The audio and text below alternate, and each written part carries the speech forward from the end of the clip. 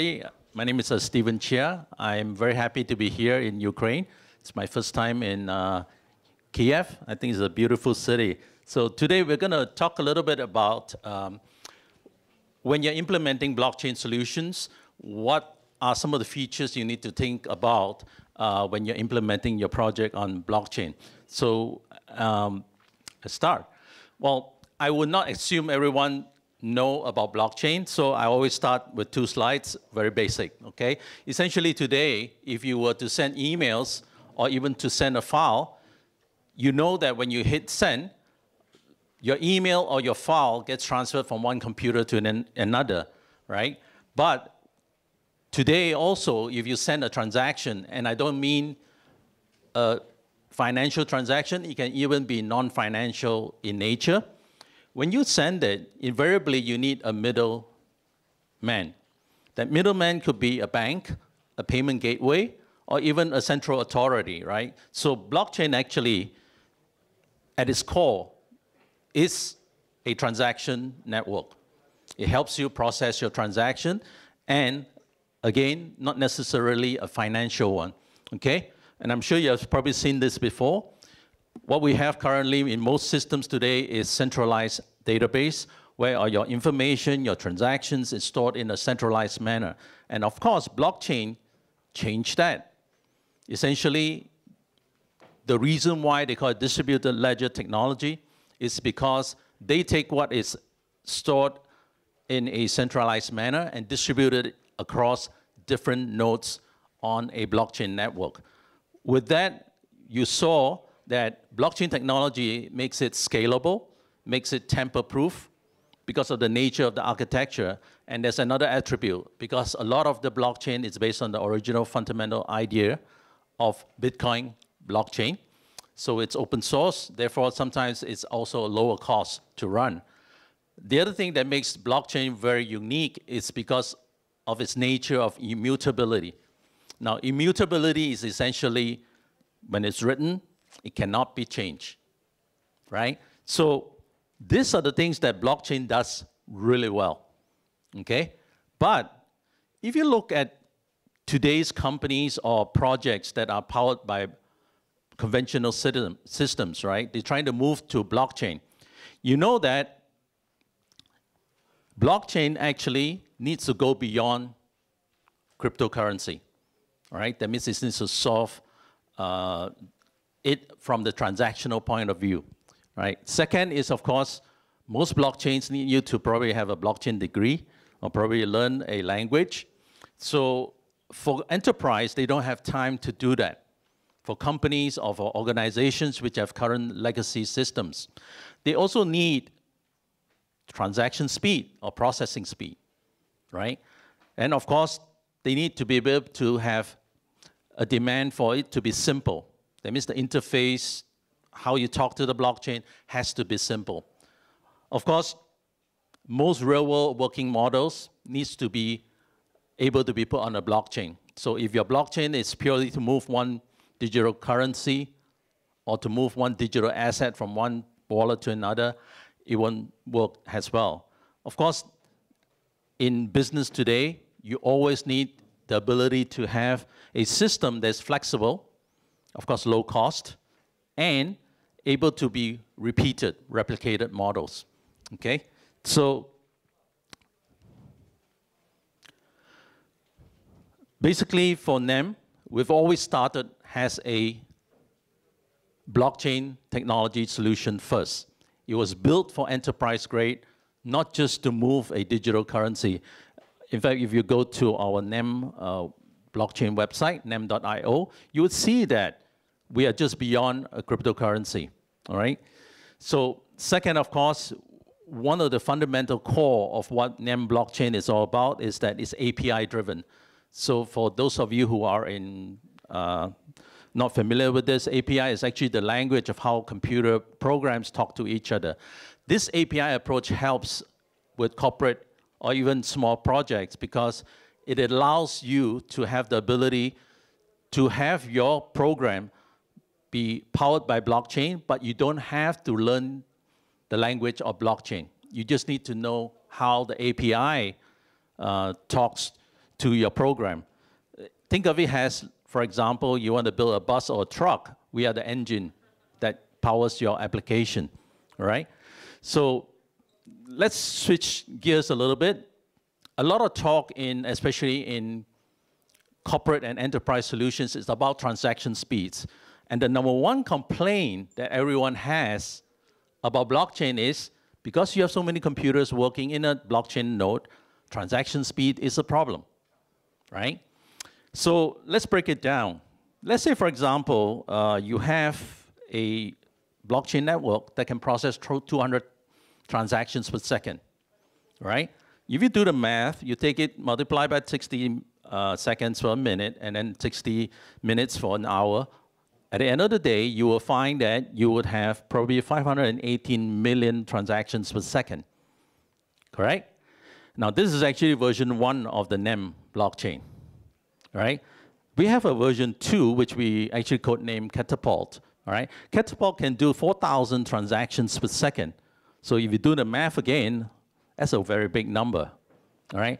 So you always need to ask, even at 200 transactions per second, does your program or does your enterprise need that kind of firepower? Does it need that kind of processing speed? Just to give you a scale of comparison, MasterCard Visa roughly is around 25,000 per second, 25,000 uh, transactions per second, right? So again, I always ask people who are trying to develop their software or their application on the blockchain, do you need that kind of firepower?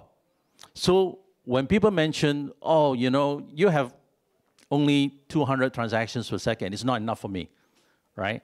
So the fundamental question is you ask yourself, does your program, does your application require the kind of transactions speed, right?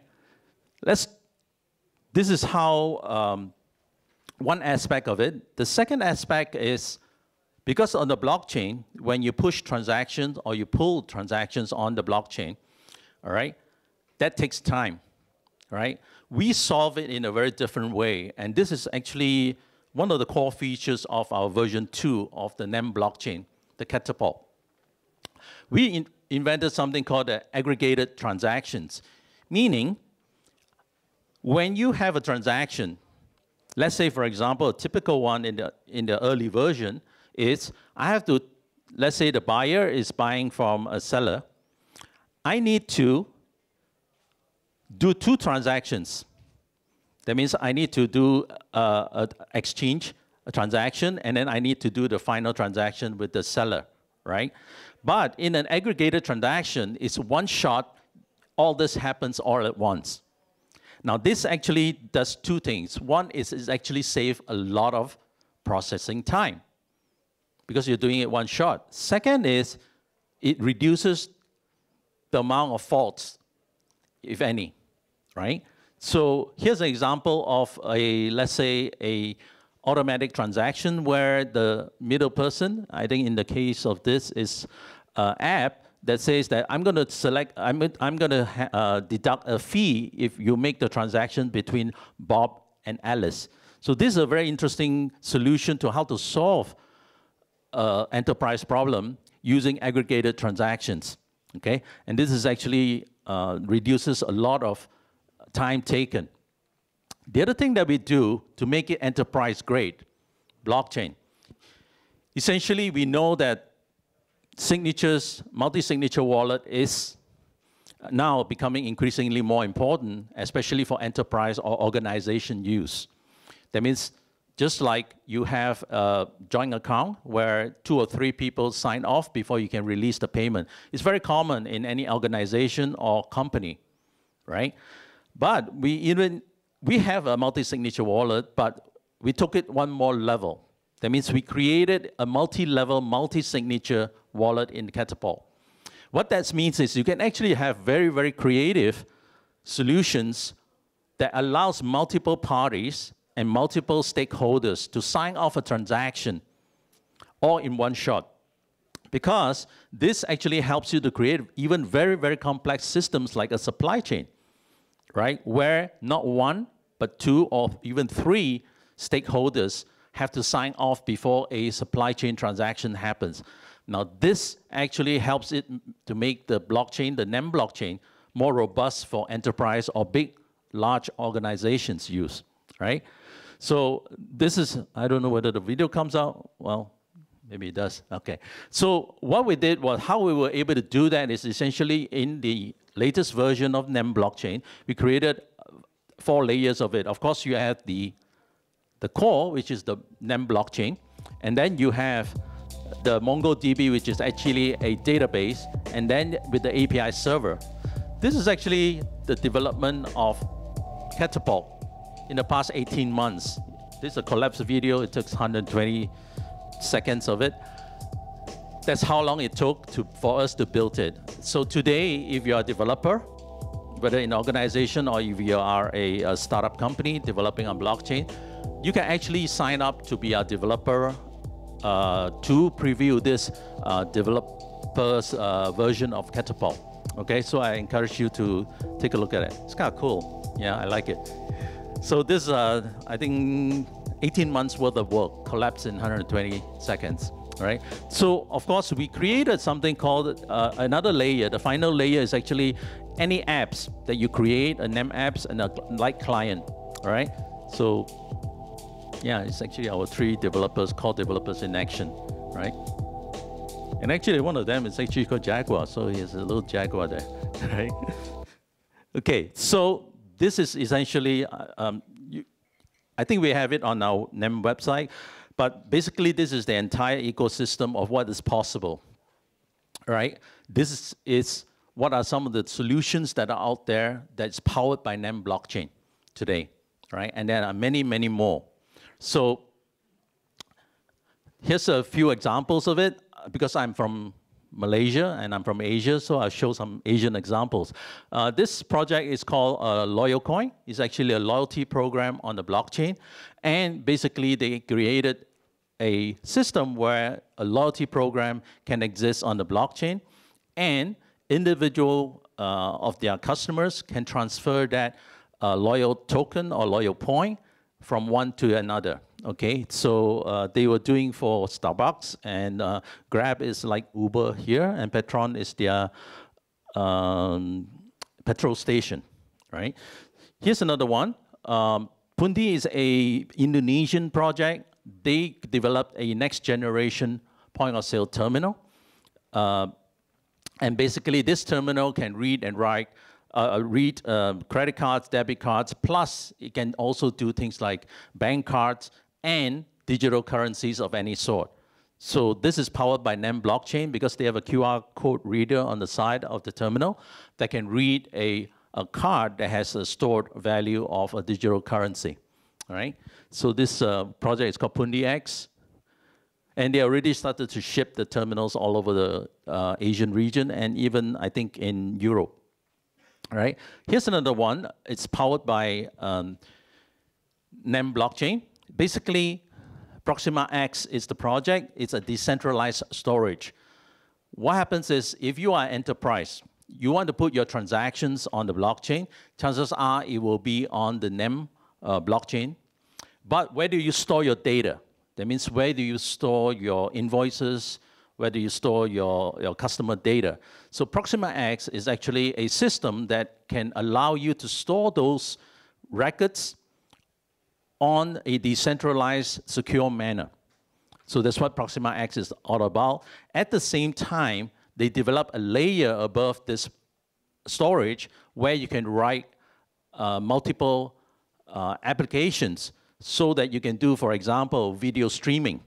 That means your video is stored in a decentralized storage, but the application can use that to stream it out, right? You can even do things like a uh, a registry, like you can store the registry certificates on the blockchain, and at the same time, people can use your application to review those documents if they wish, right? So now you have a system for corporate or for enterprise where you would have the transactions on the NEM blockchain, then you have the storage or the customer data on the Proxima, Proxima X platform, right?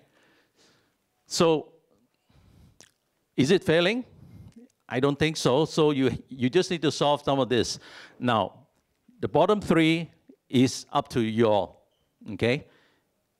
If you need to have simplicity, you need to have working models, it's up to corporates and small companies or medium-sized companies to embrace and develop applications powered by blockchain, right? So the green parts, we leave it to you guys, right? So with this, I just want to say uh, thank you so much for uh, allowing me to share about NEM blockchain. We have a booth here on the other side, so come visit us, uh, get a cool T-shirt or candy from us. Uh, we'll be more than happy to um, uh, to answer the questions that you have. Um, NEM actually is existing in six regions around the world. We have a ground team here uh, headed by Anton. He's uh, our NEM uh, Ukraine team. So if you are developing on the blockchain and you need a blockchain or you need uh, a team to come and share more about what NEM can do for you, uh, feel free to say hi to us on the booth uh, next door on the other side. All right. With this, thank you very much. Yeah. Thank you.